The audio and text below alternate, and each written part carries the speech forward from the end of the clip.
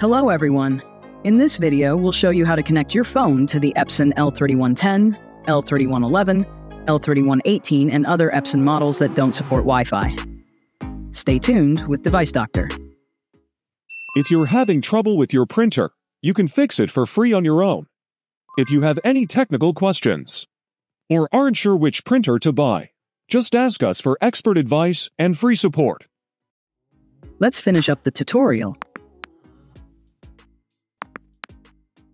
First, connect the USB cable to your printer. Then you'll need a Type-C connector and the correct mobile port model. These types of connectors are easily available at any electronics accessory store.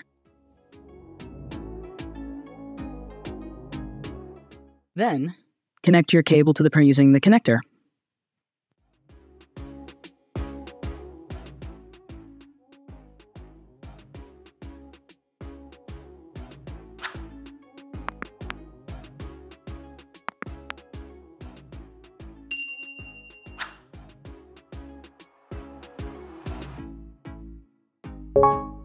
After connecting the connector to your phone, a notification will appear. Accept it. Before connecting the connector, make sure you've downloaded the Epson iPrint app on your phone. Just go to Google Play and search for Epson iPrint.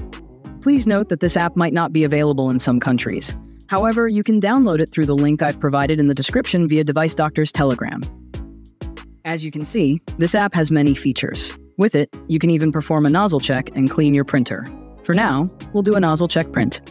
Take a look.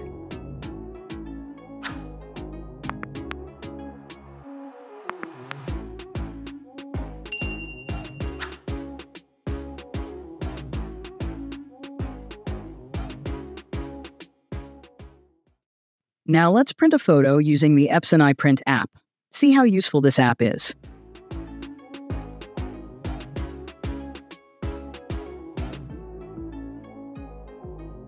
In the photo settings, you can choose the quality, size, and type of paper.